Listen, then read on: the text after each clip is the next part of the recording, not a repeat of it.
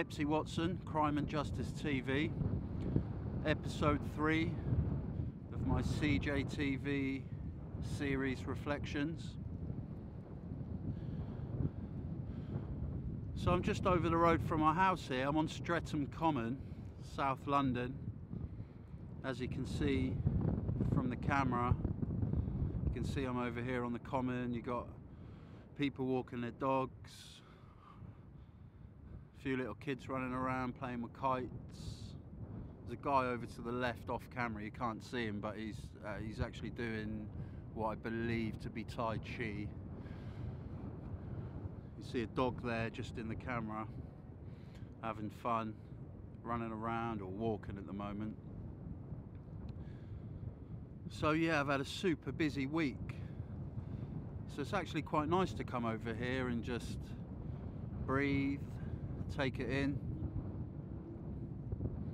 I love this area of London, I'm just embracing it, I really enjoy living here. It's multicultural, diverse. I've met the local councillor, he came around to fix my computer. Really nice bloke. I've met all sorts of different nice people great city, greatest city, greatest city on earth, London, amazing place.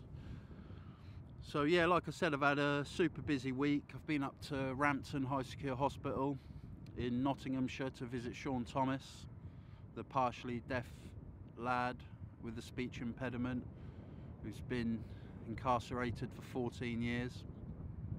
I also met a solicitor advocate by the name of Kush, exceptional character, treated me to lunch, went to a lovely English country pub, had a lovely English meal. It really was like, you know, it was, it was, oh, just, it was the greatest moment I've had since I've been out, I think. I just felt so free. Been in London a few weeks. You know, I haven't got as many restrictions as I did have in the hostel. I've been so busy studying and shooting videos and getting settled into London. It was just, uh, it was like, like a nice little holiday really. And to meet such a lovely, warm, humble, knowledgeable man who is so passionate about helping others from marginalised groups was just inspirational really. So really good trip to Nottingham. So this week there's been a horrendous terror attack in New Zealand where this deranged right-wing fanatic walked into a mosque and massacred people with automatic weapons. And I've been thinking about it a lot since it happened.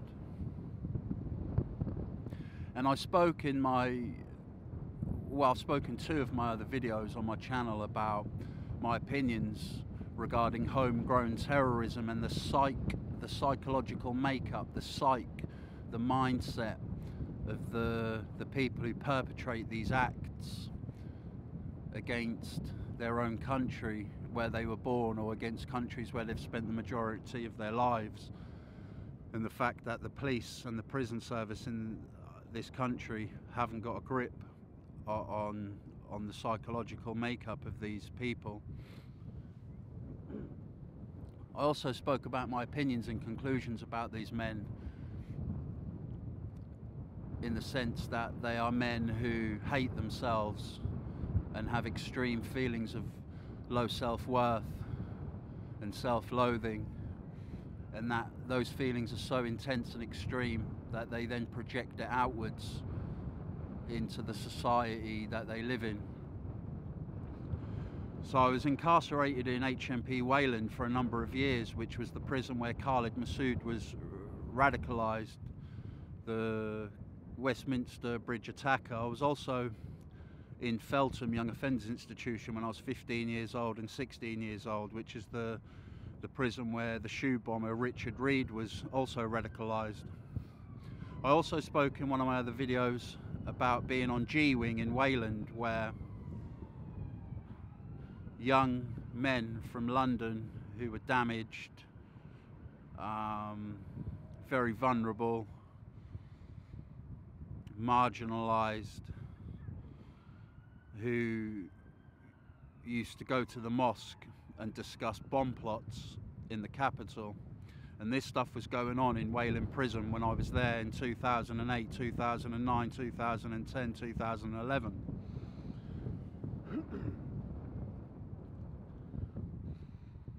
so, what makes a person commit such heinous acts? What makes a person harm others? Whether it's terrorism or otherwise. So, I'm going to read you some testimony that I've got here. It's very interesting.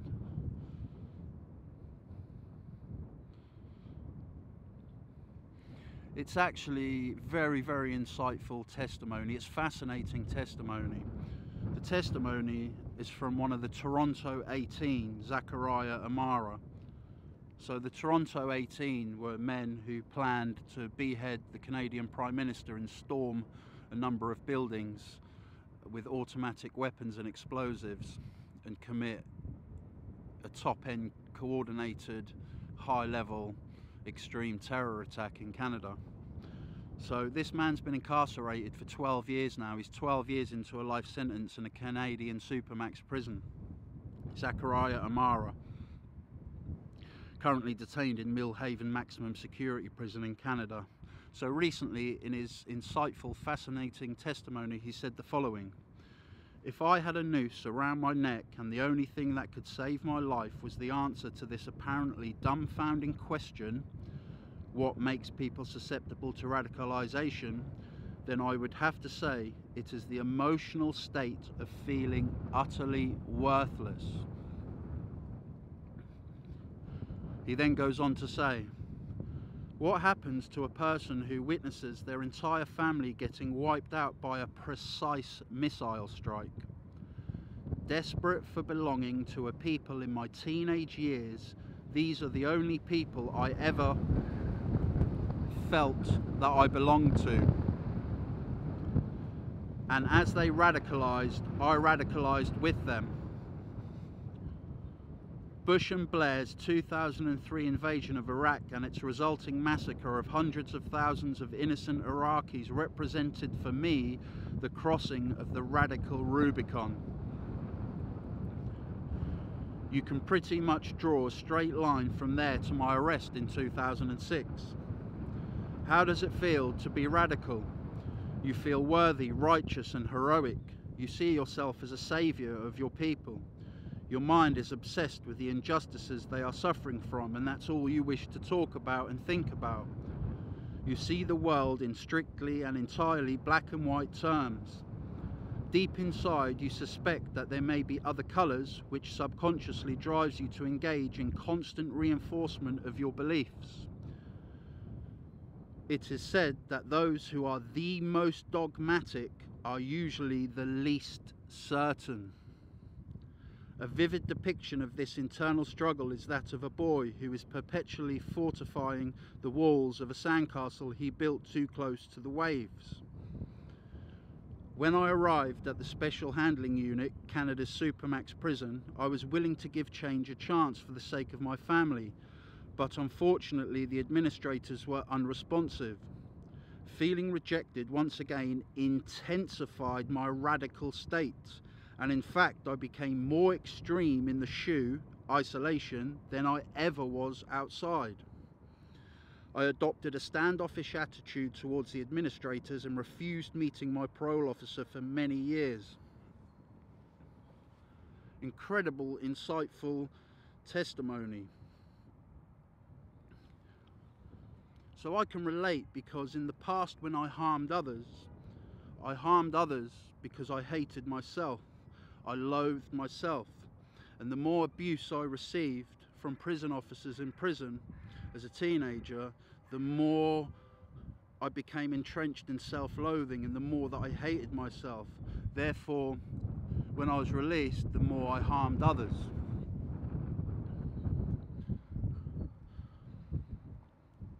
Somebody who loves themselves instead of hating themselves doesn't stick dirty needles in their arm and bang up smack. Somebody who loves themselves doesn't risk a heart attack by smoking crack cocaine for four days on end whilst they watch the sun rise and fall, rise and fall, rise and fall, rise and fall four times to the point where they become psychotic. Somebody who loves themselves doesn't kill their liver with alcohol. Somebody who loves themselves doesn't not forgive others or not ask for help. Somebody who loves themselves asks for help and forgives others. Somebody who loves themselves instead of hating themselves and, loathe, and loathes themselves eats well, sleeps well, rests well, practices good nutrition, looks after their body. Your body is a temple. So, as we heard in a testimony of this, this guy from the Toronto 18, he was obsessed with the injustices done to him and his people. He was obsessed, he could think about nothing else. He was addicted to thinking. He was totally, absolutely, and completely identified with his own mind. The movie, the false mind made sense of self, an illusion, non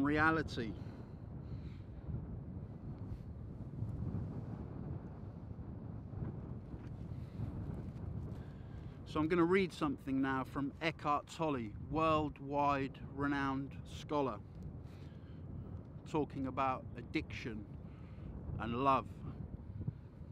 The reason why the romantic love relationship is such an intense and universally sought after experience is that it seems to offer liberation from a deep seated sense state of fear, need, lack, and incompleteness that is part of the human condition in its unredeemed and unenlightened state. There is a physical as well as psychological dimension to this state. On the physical level, you are obviously not whole, nor will you ever will, nor will you ever be. You are either a man or a woman, which is to say, one half of the whole. On this level, the longing for wholeness, the return to oneness, manifests as male female attraction. Man's need for a woman, woman's need for a man.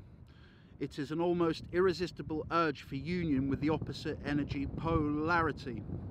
The root of this physical urge is a spiritual one, the longing for an end to duality, a return to the state of wholeness. Sexual union is the closest you can get to this state on the physical level.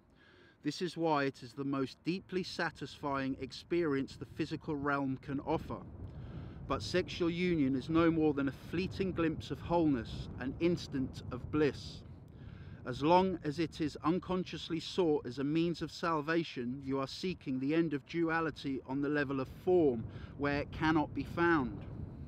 You are given a tantalizing glimpse of heaven, but you are not allowed to dwell there and find yourself again in a separate body.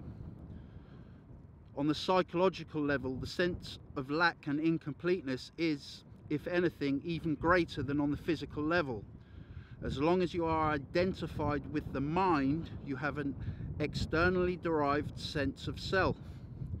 That is to say, you get your sense of who you are from things that ultimately have nothing to do with who you are your social role, possessions, external appearance, successes and failures, belief systems, and so on.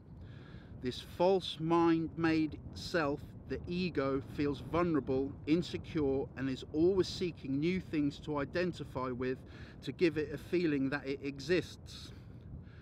But nothing is ever enough to give it lasting fulfillment. Its fear remains, its sense of lack and neediness remains.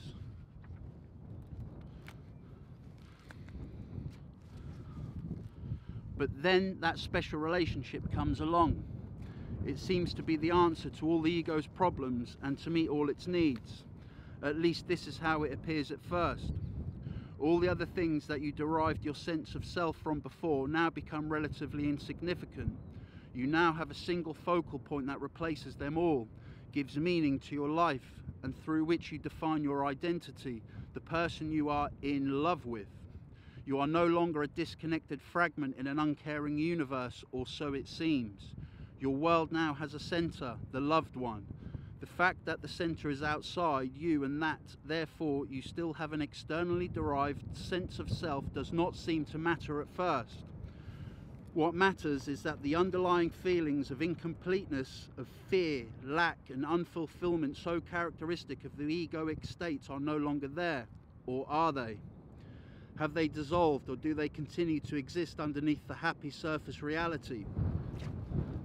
If your relationships you experience both love and the opposite of love, if in your relationships you experience both love and the opposite of love, attack, emotional violence, and so on, then it is likely that you are confusing ego attachment and addictive clinging with love. You cannot love your partner one moment and then attack him or her the next. True love has no opposite. If your love has an opposite, then it is not love but a strong ego need for a more complete and deeper sense of self, a need that the other person temporarily meets. It is the ego's substitute for salvation, and for a short time, it almost does feel like salvation. But there comes a point when your partner behaves in ways that fail to meet your needs, or rather those of your ego. The feelings of fear, pain, and lack that are an intrinsic part of egoic consciousness but have been covered up by the love relationship now resurface. Just as with every other addiction, you are on a high when the drug is available, but invariably there comes a time when the drug no longer works for you. When those painful feelings reappear, you feel them even more strongly than before, and what is more, you now perceive your partner as the cause of those feelings. This means that you project them outward and attack the other with all the savage violence that is part of your pain. This attack may awaken the partner's own pain, and he or she may counter your attack. At this point, the ego is still unconsciously hoping that its attack or its attempts at manipulation will be sufficient punishment to induce your partner to change their behavior so that it can use them again as a cover up for your pain. Every addiction arises from an unconscious refusal to face and move through your own pain. Every addiction starts with pain and ends with pain whatever the substance you are addicted to alcohol, food, legal, illegal drugs, or a person you are using something or somebody to cover up your pain. That is why, after the initial euphoria has passed, there is so much unhappiness, so much pain in intimate relationships. These relationships do not cause pain and unhappiness, they bring out the pain and unhappiness that is already in you. Every addiction does that. Every addiction reaches a point where it does not work for you anymore, and then you feel the pain more intensely than ever. This is one reason why most people are always trying to escape from the present moment and are seeking some kind of salvation in the future. The first thing that they might encounter if they focus their attention on the now is their own pain. And this is what they fear. If they only knew how easy it is to access in the now the power of presence that dissolves the past and its pain, the reality that dissolves the illusion. If they only knew how close they are to their own reality, how close to God.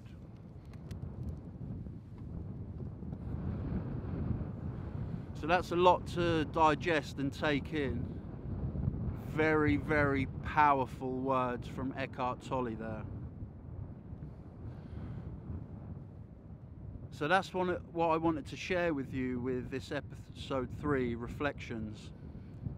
And the message that I want to share to the world with this episode is one of love. And for a better world and a safer world for all of us and our families and the futures of our children, then we must learn to love ourselves and deal with our pain instead of escape it. And that's the message that I'd like to share on this episode three.